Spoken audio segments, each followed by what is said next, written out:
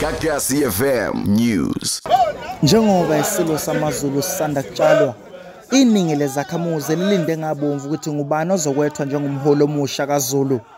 Usuku lokuphelezela embube belinezizotha kodwa kugcine sekunezinxushunxushu ngesikhathi izikumbi zabantu zifuna ukungena lapho bekwenzelwe khona inkonzo kuhleli nezicukuthwane. Kanti-ke abantu okubala kubona amabutho agcine seyivimba esangweni ngaphambi kokuphuma kwezimoto besithwele umongameli uCyril Ramaphosa. Ngakho ngiyacela impela ngisebenza.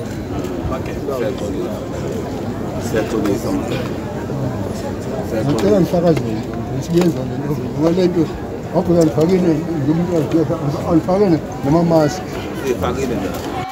Izintombi zomhlanga zithi kuningi zikufunde kubayede.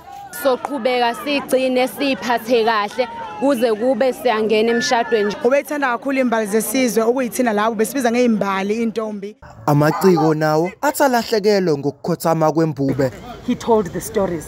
He went to all the, the tribes, the, the nations of this, of this country. lami bengizwa ngenkosi ukuthi nayo undoda enesibindi so ngicabanga ukuthi wonke umuntu kumele belesibindi ngento ayenzayo Abantwana basendlunkulu baqinisekisa ukuthi uma isinqumo sesiphumile ngalokho ukuthi ubani na uzothatha ubukhosi emva kangangezwe kuzomenyezelwa ngokusemthethweni. Ezindabeni zeGagasi FM ngingusiphelele nzuza ngibika ngisesigodlweni sesilo kwakhetha omthandayo kwanongoma Gagasi FM News.